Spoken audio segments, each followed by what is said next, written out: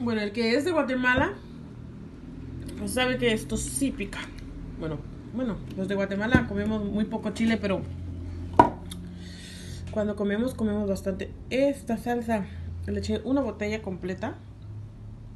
Está vacía. Le eché a estos Tortrix.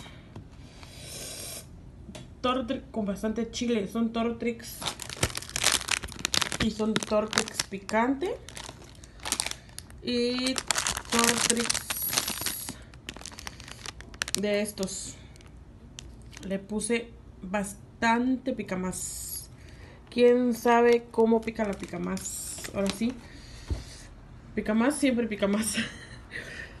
Pero está picosísimo. A ver si me lo aguanto comer. La verdad, mire cómo se ve. Pero está riquísimo.